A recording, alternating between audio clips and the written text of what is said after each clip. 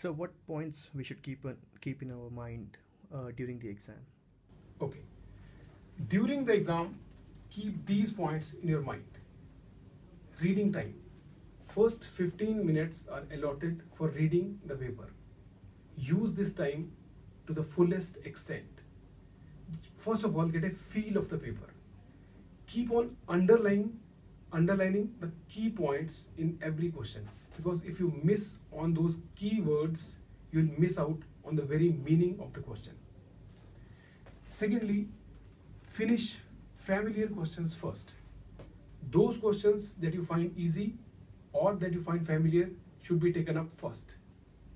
The questions that you find tough or unfamiliar should be taken up later on. Don't get stuck up.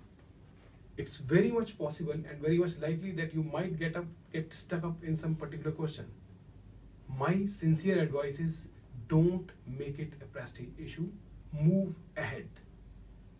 You can always come back to that question later on marks are in steps.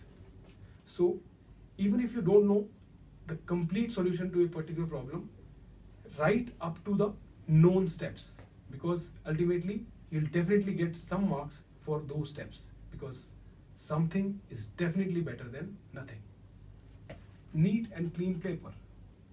Draw a clear margin to do the rough work. Of course, we need to do rough work, but keep it in a separate margin while you're in the course sorry while you're doing the question paper keep it very neat and clean avoid any overwriting or cutting a neat and clean paper definitely reflects an uncluttered mind and it definitely impresses the examiner and last but not the least revise your paper don't be in a hurry to run away from the examination hall. Before you hand over your paper to the invigilator, make sure that you revise it thoroughly.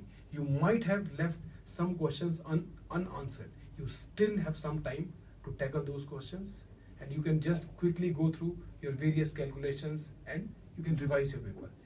The, if you follow these steps, it will definitely improve your marks in the exam. All the best.